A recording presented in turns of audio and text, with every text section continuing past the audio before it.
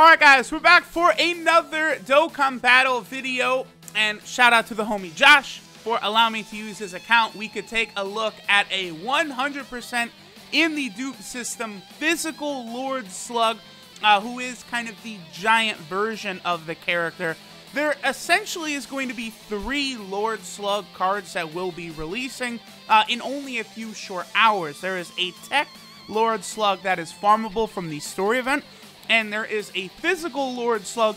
We don't know exactly how we're going to get him, but he's good enough that he should be a summonable card uh, featured on a new banner that will drop alongside the story event, and LR Bardock should also be on that banner. Now, again, he's pretty good.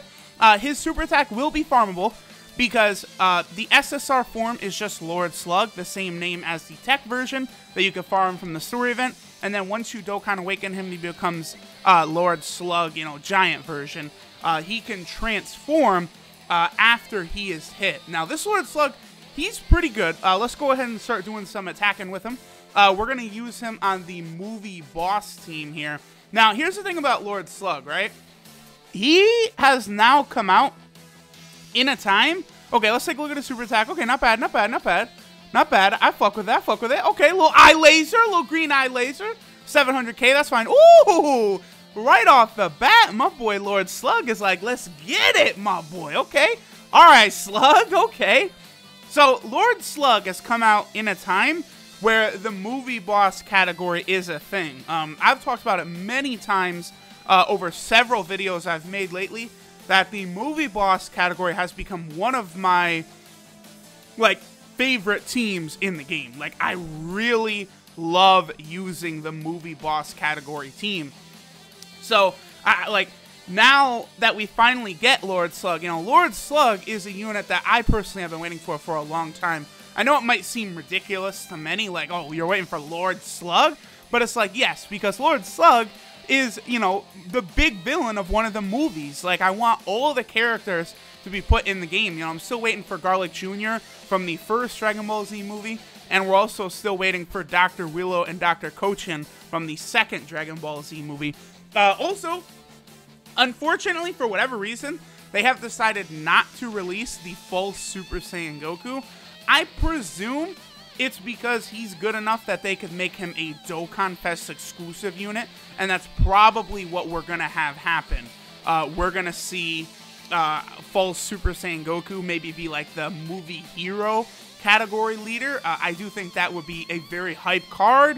Uh, I think it would be really fun to have him introduced. So even though the uh, the that Goku is not released yet, I do think he is going to be released. So uh, real quick, this this slug, he gets an attack and defensive buff of 80% off the beginning of the turn, uh, and then he gets an additional 50% attack for five turns after receiving an attack. So that'll take him up to like 130% attack, which is very good.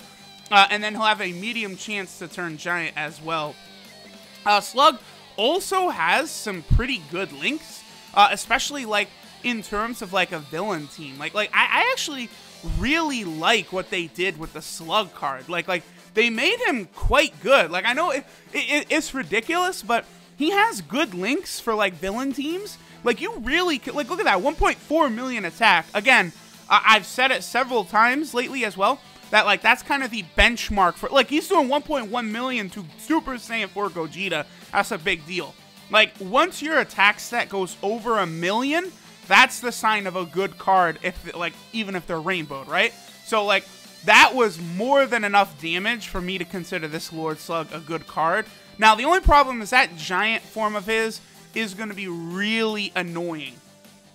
Uh, I'm not really the biggest fan of like these transforming characters like that, but you know we'll we'll kind of see uh, you know how, how it works. Um, it's a medium chance to transform, so he also will likely not be transforming that often.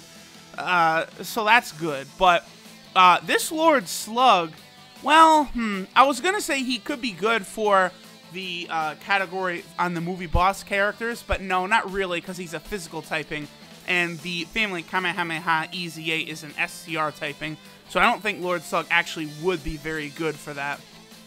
Uh, Alright, so this will be good. We'll see how well our boy Slug will be able to defend against um, uh, all these Super Saiyan 4 Gogeta attacks.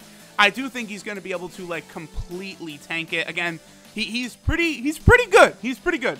Uh, he's also in a couple of categories. Uh, he is a giant category leader, just like AGL Tapion.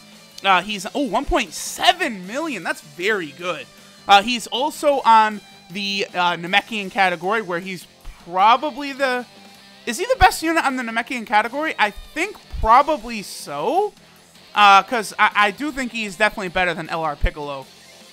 Uh, and then he is also on, is he on a third? Yeah, the Giant category, the Movie Boss category, as well as the Namekian category. Oh, was Dodge's super attack! Back to back dodges, Turles. yes! Turles, my boy. I love it, Turles. That was good shit. That was good shit. Uh, in the meantime, as you guys see on the secondary rotation, uh, I figured, you know, this is a good chance to kind of run uh, the LR Beerus plus STR Beerus kind of combo here. You know, have fun with that while we're also testing out uh, Slug.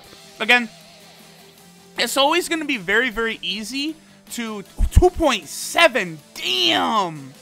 Okay. It's always going to be very easy to test out units uh, on the movie boss category team because of the Turleses all over the place. Uh, under 600,000 attacks, so STR Beerus must not have gotten his 200% uh, uh, attack bonus passive uh, in that turn right there. I would love, hey, the banner tonight, maybe, uh, you know, I'm, I don't pull LR Bardock, but maybe your boy gets lucky and I manage to pull LR Beerus. That would be pretty good. I'll see what the banner looks like. What I probably will end up doing is I'm oh we got okay we got the giant transformation awesome awesome okay that was pretty cool that was pretty cool uh, here let me do this because I want to make sure I keep the Turles and the slugs together. Uh, I I think I want to get full copies of this slug. Uh, you know again as insane as this might sound to some people uh, I do actually want to rainbow this guy. So uh, I'm gonna get full copies of him uh, and then at that point I probably will stop summoning. Uh, we'll see what the banner looks like if it's a double rates banner, uh, like how the featured, like, or excuse me, not featured, but how the GSSR is going to work on the banner.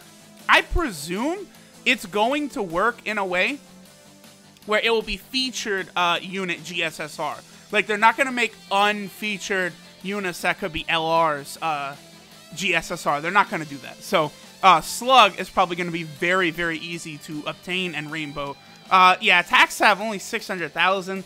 So his giant form is certainly not anything like crazy powerful. It, it's just uh, it's something they did need to add into the game, of course. Uh, as soon as like a giant category became a thing, it was very very obvious that uh, Lord Slug was probably not too far away. Like look at that. Lord Slug in his transformation was not even able to take out the first stage of the Omega event. That just goes to show you right there how fucking absurdly weak the Great Ape style transformation is. Because again, Lord Slug right there, he had a transformation, you know, a la uh, the Great Apes. Oh, another super attack uh, a la, you know, basically the Great Ape style transformation, not like the Ultra Instinct Goku style of transformation or the LR Super Vegeta and Super Gogeta. This style is just, it's so weak. It's so underwhelming. So not good. Not, just not fucking good. That, like, I really, what they gotta do, all they have to do is just make it so that fucking potential system buffs affect the Great Apes. That's it. If the Great Apes can crit or get additionals, they will be fine. Because a lot of times, you know, a Great Ape, maybe you're not able to get enough ki for them to super, but they can get their additional super instead. Like, that's all it takes, but Akatsuki uh, is very, very stubborn, uh, and it's clear that they have concerns uh, about the uh, transformation mechanic in that way. Like, like, like, they're very hesitant to buff it in any way because you're immune to damage, I think. Uh, oh, no. Damn, we're going to get the Dokkan attack with Turles. I, I should have used an item to uh, break up the rotations. Ah, that's a damn shame. That is a damn shame. Oh, well, it's not a big deal. Uh, this is the only problem with fighting Omega is, of course, you know, he will destroy your rotations like this. But alright, I figure we'll go ahead and finish up the Omega fight, and that's probably enough. Uh, from what I've seen, I'm actually pretty satisfied with this Lord Slug. Uh, he, he definitely would probably perform a lot worse on, like, a, uh, a Namekian category team, obviously, which is not, like, a really strong category. Uh, he probably would perform worse on the Giant team as well. Uh, but, you know, Lord Slug does have good links for both the movie boss team as well as the villain team. I might, um... I might try and rainbow him, and then maybe uh, test him out on the villain team on my actual account. We'll see. But he's certainly a unit uh, I wouldn't mind you know, rainbowing, especially when he's doing 700k crits to Omega like that. Very, very, very capable. Uh, and it does look like this is kind of a new mechanic that they are moving forward with as well. Both LR Beerus and Lord Slug have it, where they get hit once and then they get like a significant buff. So that that is interesting. That appears to be one of the new ways they're going to do this. Also, notice how difficult it is to get LR Beerus' 18 ki super. That, that does suck a little bit, but it is what it is. Like, listen, like the ancient Mayans said, it is what it is. You know, well, we'll we'll just have to accept it with Beerus. At least LR Beerus does heal on his super attacks. Just another uh, powerful factor added to this movie boss team. I th this is actually like in my top three favorite teams. Like like I would say without a shadow of a doubt, it's right up there. Uh, this like the Pure Saiyan is probably right up there. And I don't know what, what a third one would be. I, I mean, Potara is very fun. Fusion is very fun, of course. But like those are just like such easy like answers, right? Like, what's your favorite team? Oh, I don't know, the Potara team. Like, you know, that's that's what nearly everyone would say. But like, so my kind of shadow favorite team here, definitely the movie boss category team. Here, we'll go ahead and pop an item uh, just so that our boy Lord Slug could end this. Uh, double Turles on rotation means Slug is going to hit very, very hard. And he does have a few links that he'll be able to activate uh, alongside AGL Turles here. Man, I, I, I remember I thought EGL Turles was going to be a very good unit when he released, but they sure did make him a very good unit. He helps out so many of these new units coming out. Alright, so there we go, guys. Uh, we'll go ahead and finish it off here. Uh, Lord Slug, I'm impressed. I'm impressed. He was able to, to maintain that 1 million attack stat basically the whole fight. Of course, I was keeping him alongside Turles, but, you know, Turles, I would say, is, like, essential uh, for a lot of these units, you know, looking very good. So, thanks, guys, for watching. And I will catch y'all later on tonight where I will be streaming summons for LR Bardock and Lord Slug. Catch you then.